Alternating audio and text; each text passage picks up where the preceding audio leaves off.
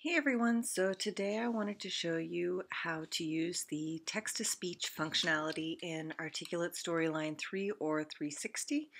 So what I have here is a slide that I've added some notes to and what we're going to do to add our text-to-speech is just go up to the Insert tab, select Audio, select Text-to-Speech.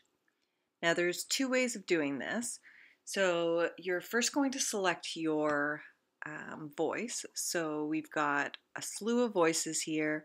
Right now I've got English US and I want to say select Sally. You can preview your voice. Hi, my name is Sally. I will read any text you type here. Or if you don't like uh, that voice, you can select any other voice that's available.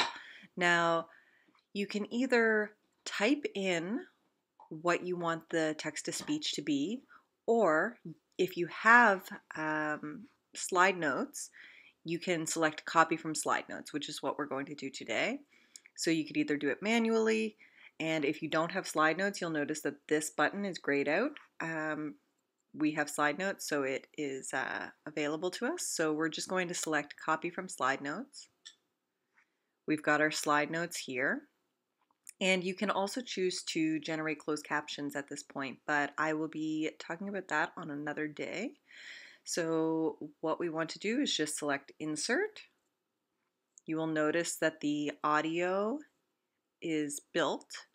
And if you double click, if you preview, you'll hear the text to speech narrating what was in our slide notes. Tibial plateau leveling osteotomy is a surgery meant to stabilize the structural integrity of a dog's. And so it's just that easy to use text to speech in Articulate Storyline 3 or 360.